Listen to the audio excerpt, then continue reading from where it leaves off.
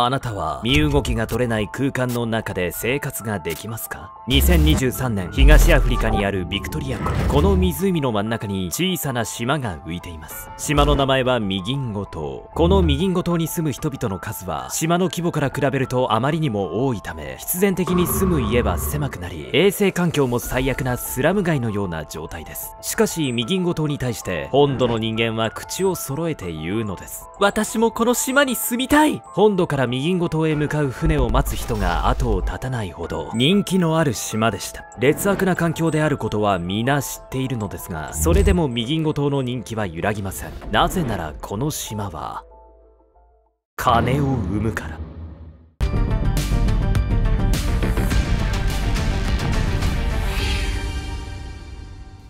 Presented by アルゴメトリーおっそっすケンちゃんですあなたの真横にくっつきたいヤミコです。アニメ「アルゴメトリー」は教科書には載らない裏の世界史や都市伝説を取り上げ見るだけでちょっと賢くなれる番組です。今回ご紹介するのは無法地帯になっているアフリカの小さな島について。やだ逃げ場のない島で無法地帯って穏やかじゃなさすぎよ。この島には規模に見合わないほど多くの人が生活しているのですがなぜ生活が成り立っているのか不思議なほどなんです。まずはその小さな島について詳しく見ていきましょう。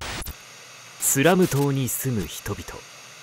2023年東アフリカのビクトリア湖に浮かぶミギンゴ島ビクトリア湖のちょうど真ん中あたりにある小さな島は現在スラム街の島とも呼ばれています。ミギンゴ島はサッカー場の4分の1程度の2000平方メートルの広さしかないにもかかわらず約500人から1000人がすし詰め状態で暮らしていました。1人の生活スペースで計算するとなんと2畳ほどしかありません。島民の多くは漁師であり毎朝100隻以上の船が漁へと出ていくのです。漁師たちはギラギラと目を光らせて次々と網を海へ投げ入れていきます。かかったぞ。早く引け！大声で指示を出す一人の漁師の声で船に乗っていた他の漁師たちが網を引き上げていきました。彼らが取っているのはナイルパーチと呼ばれる2メートル超えの大きな肉食魚です。もともとナイル川に生息していた魚ですが身の締まりが良く貴重な食料資源となります。ナイル川にいた魚？どうしてビクトリア湖にいるのかしら？ナイル川がビクトリア湖につながっているの？繋がってはいますが、ビクトリア湖の唯一の流出河川がナイル川なんです。つまり、流れとしては逆ということですね。ナイルパーチがビクトリア湖にいるのには、ちゃんと訳があるんですよ。1954年、ナイルパーチはビクトリア湖に放流されています。理由は、漁業資源を増やすためでした。しかし、このことが湖の生態系を狂わせます。当時、ビクトリア湖に生息していた魚の多くが草食系であり、湖の藻やプランクトンを食べていました。そこに巨大肉食魚のナイルパーチが放流されてしまったために、生態系は破壊されてしまったのです。約400種ほど生息していた魚たちは、半数にまで絶滅し、草食魚のおかげでバランスを保っていた藻やプランクトンは逆に異常増殖をしました。するとビクトリア湖全体が酸欠状態になってしまい残っていた魚もどんどん死滅してしまったのです。なんということだ。ナイルパーチを放流したことで湖の環境も漁業における経済にも大打撃を与えた歴史はビクトリア湖の悲劇と呼ばれています。しかしミキンゴ島の漁師たちはそんなことお構いなし。ナイルパーチさえ取れればそれでいいのです。漁師がナイルパーチを狙う理由それは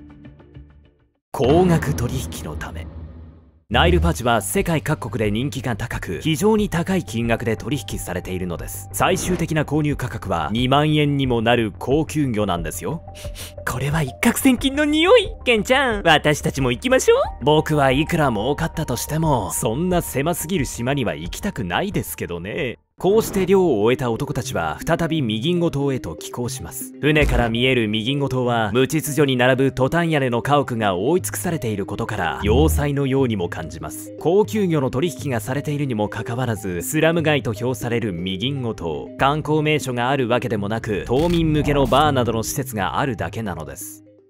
スラム街ってよく聞くけど島が丸ごとスラムってあまり聞かないわね。そういえばスラム街のスラムってどういう意味なのかしら？なるほど。ではそんなヤミコさんの声にお答えして本日のメトラキーワードはスラム街について。スラム街は日本語では貧民街とも呼ばれその名の通り都市部に貧困者が集まり住んでいる区域を指します。都市部の区域でありながら病院を受診したり学校に通ったりするなど公共サービスや教育が受けられないのです。このことからスラム街は住人たちの健康安全道徳などが脅かされ人権がない貧困者という印象が持たれています。スラム街の特徴の一つとして犯罪や大麻アルコール依存などの温床が挙げられています。無秩序さがはびこるスラム街の一部は無法地帯と化しているため都市部の住民たちからは危険視されているのです。さらに途上国のスラム街の場合は衛生面が劣悪であるため伝染病が流行してしまうという懸念も抱えています。なるほど。病院がなかったら感染症とか怖いわね。それにミギンゴ島には学校もありませんから子供たちは学ぶ機会も失われているいるんです。環境の劣悪さからスラム島と呼ばれるミギンゴ島。しかしこの島が抱えている問題は劣悪な環境だけではありませんでした。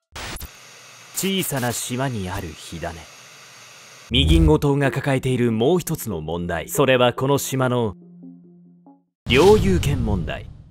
この争いの発端は2000年あたり。ビクトリア湖のうちは隣接する国々から複数の国境が引かれているのですがそんな中でミギンゴ島にはほとんど人がいなかったことからケニアの領地として認められていました。しかし無人島に近い状態のままケニアが放置しているところにウガンダが目をつけます。結果として現在ミギンゴ島は一触即発な状態の間に置かれていることから紛争の島とも呼ばれているのです。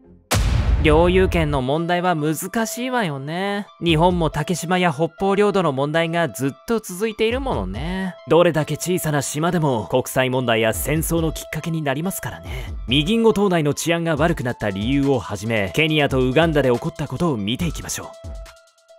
2004年、ミギンゴ島の岩場に続々とウガンダの警察たちが船を止めていった。彼らは島に上陸すると船から荷物を下ろし、岩場に沿って歩き出す。よし、ここに立てろ。ウガンダの警察たちが岩場に突き立てたのはウガンダの国旗。その光景を見かけた一人の漁師が何事かと声をかける。ミギンゴ島にいたケニアの漁師たちが集まると、ウガンダの警察は口を開いた。ここらの海域で海賊の出没頻度が上がっている。あなたたちを海賊から守るためにやってきた。その話を聞いていた漁師たちは、本当か？それはありがたい。海賊からの被害に困っていたので、皆喜んで迎え入れた。一方、ウガンダの警察側は見返りを求めたので、漁師たちはしばらく見返りを税金として支払っていた。しかし次第に、ウガンダ人の漁師たちもミギンゴ島へ移り住み、漁を始めるようになる。すると、ウガンダ人がケニアの水域で漁を行っていることで、経済問題へと発展したのだ。さらに気づけば多くのウガンダ人がミギンゴ島を占領するような形となったために、ケニア側も治安部隊を派遣した。ふざけるな。俺たちの海だ。お互いに主張を始め緊迫した状態になってしまったのだ。最初はミギンゴ島からケニア人ウガンダ人の両方を入れないようにしようとした。しかしそれだと今度は他の国に占有権を取られてしまうかもしれない。そこで折衷案としてお互いに島に住み続けることに。こうして領有権問題は表面上は沈静化したのだ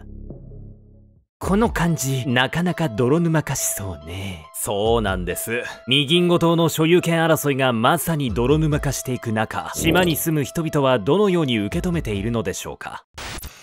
一触即発の両国。それでも2009年、ミギンゴ島の領有権をはっきりさせようと、衛星写真から判断することになりました。そこで分かったのが、ミギンゴ島が500メートルほどケニア側にあること。この事実に、ウガンダ政府は苦虫を噛みつぶしたような表情で声明を出します。島はケニア領かもしれないが、漁民が漁をしている水域はウガンダ領にある。衛星写真の事実から、ウガンダ政府は認めつつも争う姿勢を崩しませんでした。さらにミギンゴ島内でも揉め始めます。ウガンダ側はケニア人漁師に入漁料の徴収や許可書がない漁師の船や漁網の没収を始めたのです。一方のケニア人漁師もナイルパーチは全てケニアの沿岸で繁殖したものだぞ。と反論しますがウガンダ側に一周されてしまいます。ナイルパーチってそんなに魅力的なのね回転寿司とかで食べてみたくなってきたわ。ヤミコさん実はナイルパーチはスズキの代用魚として回転寿司でも出てくることがあるらしいですよ。ひょっとしたらメトラの皆さんも知らないうちに食べているかもしれませんね。そして最終的にはウガンダとケニアの話し合いによりウガンダが撤退することが決まりました。しかしミギンゴ島の治安維持や本国の政治上の手続きを理由に撤退は実現していません。では実際に住む漁師たちはどちらの領土になってほしいのでしょうか。現在漁師を含めた島民たちはこの領有問題にまるで興味なし。問題発生から20年近く経過していることもあるためか島内の人々は手を取り合って生活をしています。彼らは過去の話を聞いてこう答えました。どちらの国に属そうがここに住むだけ。住んでいる人たちって案外そういうものなのかしら？確かに今が平和なら別にどちらでもいいのかもしれませんね。平和といえば海賊が島を襲いに来るんじゃなかった？こんなどっちつかずの状態で海賊から守ってくれるの？その点なんですが現在ならではの理理由で海賊が減ってきているんですよ。ミギンゴ島はスラム状態にもかかわらず現在キャッシュレス化が進んでいます。店舗によっては SMS を利用した電子送金システム M ペサを使っての支払いができるのです。この M ペサは銀行口座が不要なシステムなのでケニアでは爆発的に広まっています。キャッシュレスができなくても島の代理店で現金を出し入れすることもできるなど対応力も高いのです。実は島の代理店は純粋にサービスを広めるためではなくナイルパーチ漁業で儲かる島のお金を目的にしていました。ミギンゴ島の漁師はかなりの高級取りなため陸地での商売より何倍もの利益を出せるのです。そのため本土から島内で商売をしたいという商人も順番待ちをしている状態になっています。そしてキャッシュレス化は思わぬ余波を生みます。海賊はこれまで漁船を狙ってはナイルパーチの取引で得た現金を奪っていました。しかしなんだこいつも現金持ってねえじゃねえか。漁船を襲う意味がほとんどなくなってしまったのですまさかキャッシュレス化が犯罪予防になるとはね。ちなみに海賊たちは、奪うものがない腹いせにエンジンをもぎ取って奪っているそうですよ。もう、そんなことするなら、真面目に漁師にでもなりなさいよね。さて、そんなミギンゴ島ですが、スラム状態であるにもかかわらず、漁師以外のある人たちからもかなりの人気スポットになっています。その理由は一体何なのでしょうか。ミギンゴ島の夜。ミギンゴ島内には建物が所狭しと建てられているものの人々の生活に彩りを見せるように商業施設があります。ただ商業施設といっても簡易式の雑貨や服や床や病院代わりの薬局が連なっているだけです。しかしこの島には普通の友人島ならあるはずのものがないのです。ある日慌てて走る男性が一人。彼が急いで目指すのは島の端の岩場でした。危ない危ない。男はそうつぶやくとズボンを下ろして湖に背を向けそのまま用を足したのです。実はミギンゴ島では共用のトイレがあるものの処理施設などがないため汚物はそのまま湖に流していました。そのためトイレ周辺では鼻をつくような匂いが立ち込めていると言われています。へえこれはシンプルに嫌ね。羞恥心の問題もありますが衛生状態が悪いと病気にもなりかねませんからね男は立ち上がりズボンを上げるとすっきりした顔である場所に向かって歩き出しました。その場所とは売春宿。というのも、ミギンゴ島にある売春宿は人気で、本土の女性たちは、ミギンゴ島から来た男たちに売春宿について様子を聞いてきます。というのも、実はミギンゴ島の売春宿で働きたい女性は多くいるんです。なぜなら、島内の売春宿なら、2、3ヶ月の出稼ぎで、本土の1年以上の儲けがあるから。しかし、ミギンゴ島にある売春宿はたった4件。そのため、働く側も年中順番待ちとなっているんです。売春宿で働くことが決まった女性の一人は答えます。島に来るまでに2年待ったわ。人気だから順番待ちだったの。本当に嬉しいわ。1年分行きたくなる気持ちはわからないでもないわでは、ミギンゴ島では実際にどんな売春が行われているのでしょうかここはミギンゴ島にある売春宿のうちの一つ。一人の風俗嬢が瓶ビールを片手に部屋のマットを整えていた。トタンと木枠を組み合わせた簡素な作りの部屋は窓とドアが閉め切られている。